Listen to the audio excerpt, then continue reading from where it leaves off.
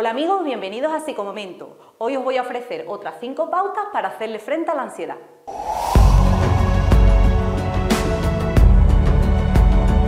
Consejo número 6.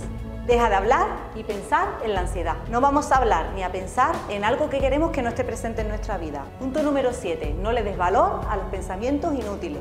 Yo le explico a mis pacientes que tenemos dos tipos de pensamientos. Los pensamientos útiles, que son los que nos acercan a nuestro objetivo, a nuestra meta, y los pensamientos inútiles, tipo, ¿mi novio me querrá toda la vida? ¿Qué resultados habré sacado en la analítica? ¿Tendré alguna enfermedad? Este tipo de preguntas que nos hacemos solo nos hace que nos boicoteemos constantemente y que no salgamos de este bucle del pensamiento.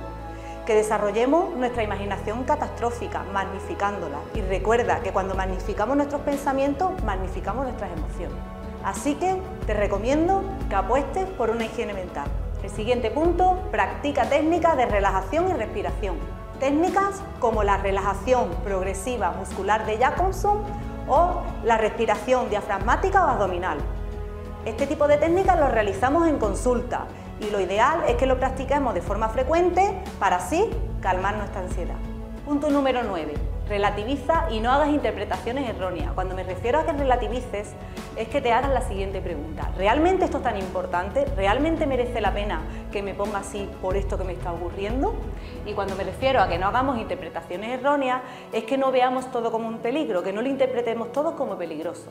Y por último, punto número 10. Si sientes que la ansiedad está bloqueando tu vida y que la situación te supera, no dudes en buscar ayuda profesional.